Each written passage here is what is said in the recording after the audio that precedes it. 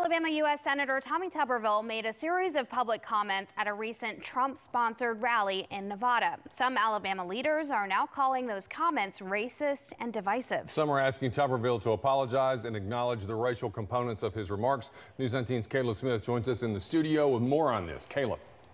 Well, in his speech, Tuberville said with their majority in Congress, Democrats could stop crime like drugs coming across the border.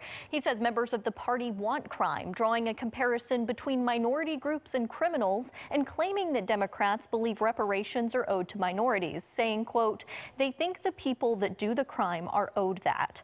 Alabama House Minority Leader Anthony Daniels was angered by the remarks, but says the statements Tuberville made are not representative of all Alabama leaders and the state as a whole. And he says while Tuberville was vocal on Saturday, he's been very quiet since then. There's no apology from the senator. There's not a peep. Uh, he's like he's in a bunker, uh, just waiting, just hiding right now. And so I think that if the senator um, truly regrets the statements that he made, he should come out and say, hey, it was taken out of context or what have you. House Minority Leader Daniels says he is disappointed but unsurprised by Tuberville's comments. He's shown us this time and time again. At the Saturday rally in Nevada, Tuberville said that the statement that Democrats are soft on crime is not correct, saying instead, quote, no, they're not soft on crime, they're pro-crime. They want crime because they want to take over what you got. They want to control what you have. They want reparations because they think the people that do the crime are owed that. They are not owed that. End quote.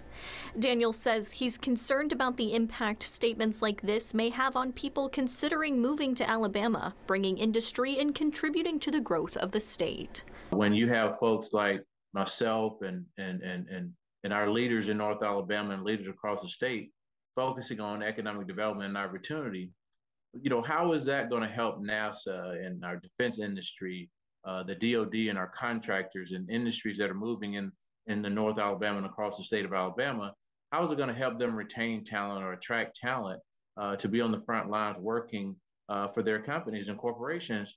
Daniel says Tuberville's comments are ignorant, and he says those who do not speak up against them are complicit in that ignorance.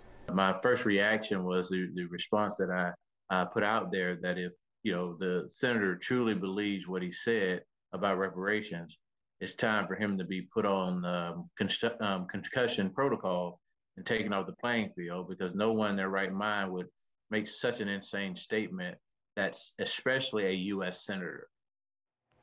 And former U.S. Senator Doug Jones also called out Tuberville's comments on social media. He said he believes the statements stem from racism and ignorance, and they harken back to a really dark time. I reached out to Tuberville's office for comment, but have not received a response.